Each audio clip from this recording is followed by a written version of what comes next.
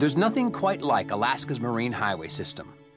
With outstanding scenery, culture, and history, the Marine Highway is one of only 27 routes in the entire nation to be named an All American Road and the only marine route. On this one of a kind highway, you'll travel through some of the most breathtaking scenery in the world.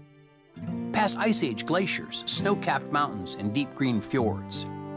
In port communities, you'll find rich native culture, from museums and totem pole collections to art and dance. Opportunities abound to learn about Alaska's indigenous people. You'll also encounter the fascinating history of the gold rush days when thousands flocked to Alaska in search of their fortune, and present day reminders of what was once Russian America. All American roads take you closer to the nation's heart and soul. Come aboard and let us take you there.